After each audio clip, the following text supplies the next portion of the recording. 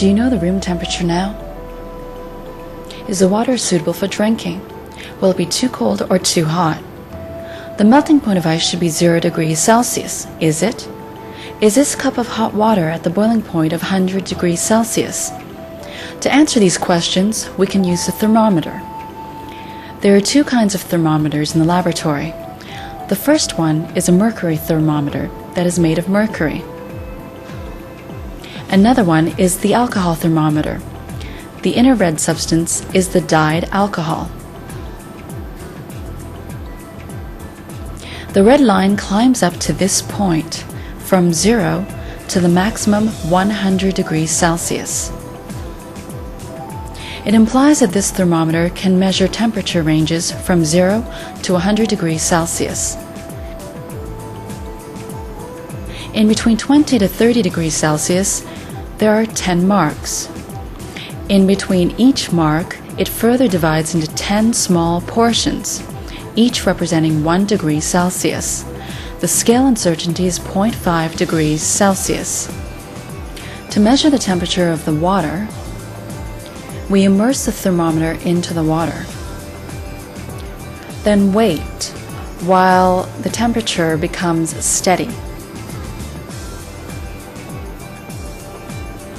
Then we record the temperature and we see that the reading is approximately 26.0 degrees Celsius. Heat the water with a Bunsen burner and the temperature of the water will increase as well.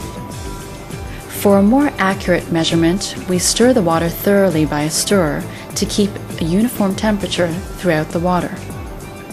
Okay, we remove the water and then we immerse the thermometer in the water's center. Wait until the alcohol rises to a steady temperature and then take the reading. This is 65 degrees Celsius. Now, since the scale uncertainty is 0.5 degrees Celsius, the reading will be 65 degrees Celsius plus or minus 0.5 degrees Celsius. If we want to know the temperature difference of water before and after it's heated, we have to deduct the before from the after temperatures. That's 65.0 minus 25.0 plus or minus 1 degree Celsius. When measuring, remember to put the thermometer in the center. Now don't touch the bottom or the sides of the beaker. Also, we should use a stirrer to stir the water and maintain a uniform temperature throughout the water.